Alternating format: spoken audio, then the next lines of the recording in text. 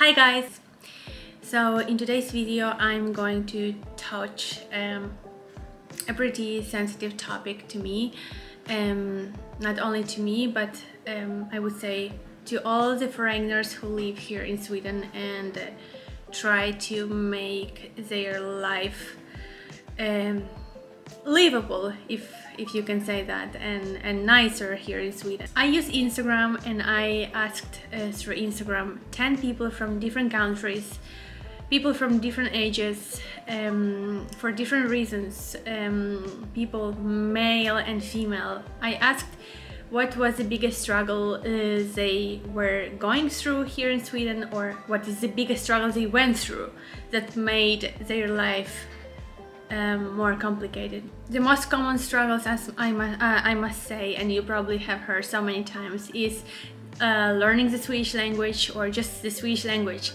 Um, low confidence uh, using uh, Swedish language and um, finding uh, new friends, socializing, um, especially when you want to make um, friends who are Swedes.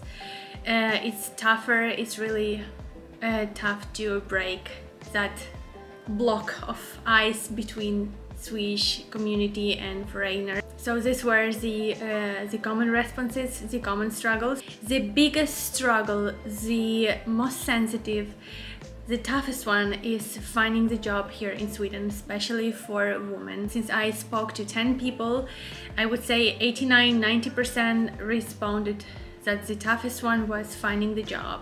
So it took one year and a half, two years uh, for some people uh, to find a, um, a, job.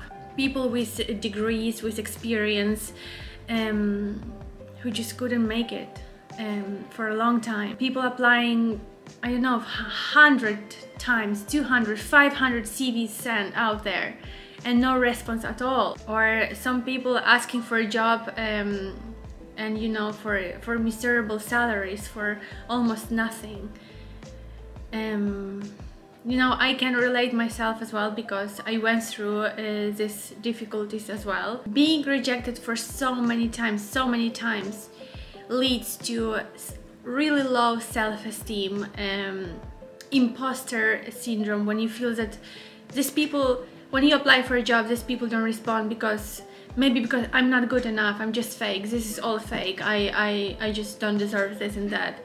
And so this is so dangerous. And uh, some some people even um, responded that it in some cases it, it uh, even led to breakup um, of course because um, because you are in a relationship maybe and so your partner works and you don't work and so you want to contribute but you don't you cannot because you struggle with finding the job and it's not actually your fault and so in some cases it um, leads to a breakup and to you know feeling um, really love uh, uh, yeah with really low self-esteem and especially for um, for women. And I got to talk to people from from the US, UK, Morocco, Baltic countries I don't know and it seems like we all go through same struggles. I also divided these responses in two ca categories and um, so women and um, men and it seems like men struggle um, uh, more often with uh, making friends and dating seems so I guess when man moves here to Sweden is because of a job offer and relocation in most of the cases and women um, really often women moves because of their partners or husbands that get um, better job here in Sweden and so they just follow along and this becomes really tough um, in um, in most cases. Also, I must mention that one of the biggest struggles as well is the lack of bank ID here in Sweden is absolutely a must-have and if you don't have a bank ID your life is almost impossible. You cannot rent a flat uh, because you don't have a bank ID and if you don't have a job just forget about it. You cannot do a almost you, you can do nothing practically. You just cannot verify yourself. It's because it's your electronic ID. And if you don't have it, you just have nothing. You're just no one here. And so a lack of bank ID makes foreigners' life much uh, tougher. I also read, um, you know, according to World Population Review website, um, one of the best countries to live in, it says, in 2021 is Sweden in seventh place, after Germany in the sixth place, and before Australia in ninth place. And it says Sweden has a strong social welfare system providing strong healthcare and free education. Sweden's social model focuses on growth, equality, freedom and security. Sweden also has great conditions for workers, such a minimum of 5 weeks vacation and a government organization that supports entrepreneurs looking to start a company. Lastly, like the other Nordic countries, Sweden has a very low rates of violent crime and ranks well for overall health and well-being this sounds so attractive when you when you read it but I think this is only true when you made it in Sweden especially for foreigners. Because life in Sweden is really tough if you have this lack of basic things to survive here to make it here.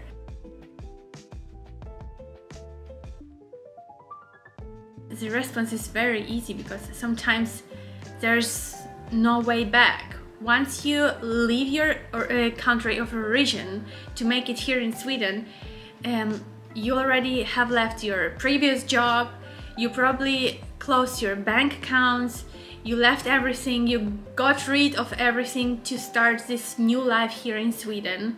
And so the struggle would be double because you have nothing in your uh, country of origin and you more or less have nothing yet in Sweden. And so you try to make it in Sweden because you followed your partner, your family, your husband, your wife, whatever.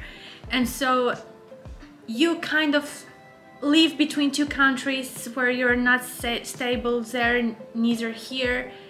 But maybe Sweden if it's even even if it's tough it has more possibilities because you at least have your family here that you moved for it's just complicated. It's not so easy to just, you know, struggle for a year here in Sweden, for example, and trying to make it here. And if it doesn't work, uh, just move back to your country because there's nothing awaiting for you because you have left everything uh, behind. It's just, it's just not so easy. I just really wanted to, um, to, um, you know, speak out and um, talk about it and um, give voice to it and uh, underline the importance um, of uh, this you know this situation and the struggles that foreigners go through so many times so often. Like every single person that I talk to I just can relate to that person. I can just say oh you know I went through the same. You know I know what is it um, having nothing in your bank account or not being able to pay anything or lack of a bank ID or just struggling finding the job for like so long time your confidence gets damaged. And it's really impossible to not to compare your, yourself to others especially to Swedes here especially for women. It's really really really damaging sometimes and almost denigrating. It denigrates your personality. It makes you feel low because you come from a country where you had a job, when you were stable, when you were someone, and you over here become a baby. No one.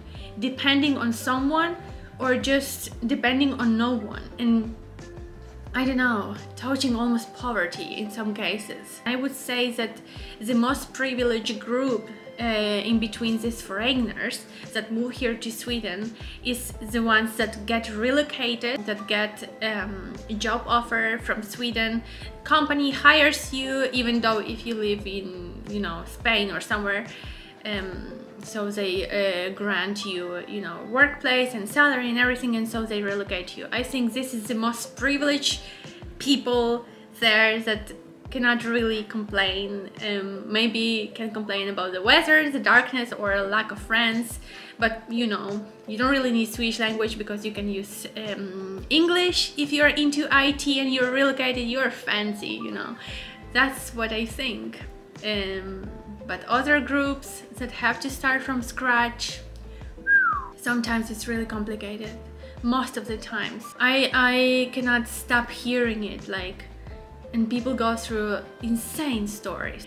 I ask why do people think that um, this is this way? Why it's so hard to get a job here in Sweden? What is the reason? Why it's so tough? And most of the responses were um, that the Swedish system is not designed for immigrants to have success when applying jobs and Swedish companies hire inside, inside their comfort zone. And also human resources objectives are not oriented to have candidates that are a cultural odd. Sometimes um, it's actually this way and uh, um, you know you can understand that maybe Swedish company um, doesn't hire you because they don't know you they don't really trust and also if you have a lack of Swedish language it's almost nothing to do here so it makes it even triple tough. I'm gonna just read one of the messages that I got, one of the responses. I had diplomas up to a digital and social media master degree and work experience but no one wanted me here in Sweden for seven months. I had to end up in um, with a recruitment coach to introduce me to companies because they had uh, contact and they would not reply to me. The company I'm working at the moment I applied four times myself and they never replied, but when the hiring coach introduced me, they instantly were interested. There is uh, um, one of the most sensitive messages I, I got as a response to my question, what were the biggest uh, struggles you went through, and so I'm gonna just read it for you.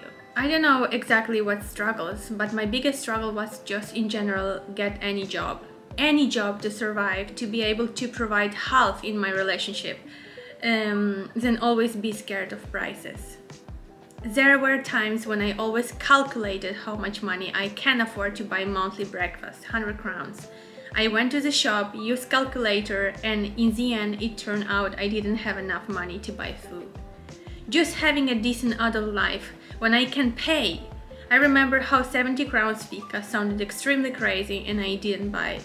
Even if something was 30 crowns, I was already embarrassed that I can't afford. Looking for a job th that long, I just lost my degree meaning. If couldn't improve, use my skills, clean up my talent, knowledge, then how can I prove that yes, I'm good at this after not having related my skills that job? It damaged relationship by not having a job living in savings only, always checking how much I can still afford, etc. Just not being able to contribute. So, you guys, the solution to this situation and to these struggles is, I don't know, to just fight, fight, fight, fight, and uh, fight and uh, I think it's really important to support each other. This community that um, there is uh, between foreigners that go through the same situation. It's a nice networking um, you know experience. So I think it's really useful um, and I would definitely encourage everyone who struggles me too to just make connections and um, and just keep in touch with people and share your experience. And so um, this makes your life easier. But yeah this was a bit sensitive uh, video but I really wanted to bring this up because it's really important. I think it's it's vital because I myself struggle so much and struggle. I do do struggle and I do have this low self-esteem and um, imposter syndrome sometimes or just feeling low and and you know it's it's just easy to feel this way. It's just easy to be in that situation. It's inevitable to not compare yourself to others and and it's just tough sometimes so yeah it's better to speak about it and um, and maybe for Swedish community as well so you guys Swedes get uh, to know a little bit how is it for us foreigners that are not so privileged, that uh, were not granted a relocation or something, that have to start from scratch. And uh, you know, you guys, it makes us stronger and uh, definitely it uh, builds a strong personality probably and a thick skin. So yeah, leave your comments down below what do you think about um, this topic and see you guys in the next video. Bye!